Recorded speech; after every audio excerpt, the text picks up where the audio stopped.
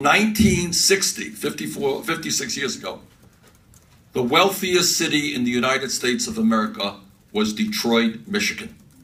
Anyone know that? Detroit, Michigan, the wealthiest city in America, with the largest private sector employer, a company called General Motors.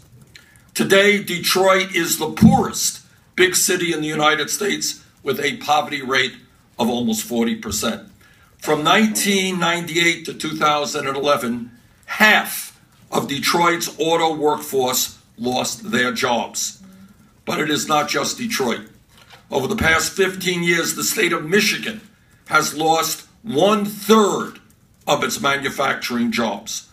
The most significant reason for this economic decline is our failed trade policies.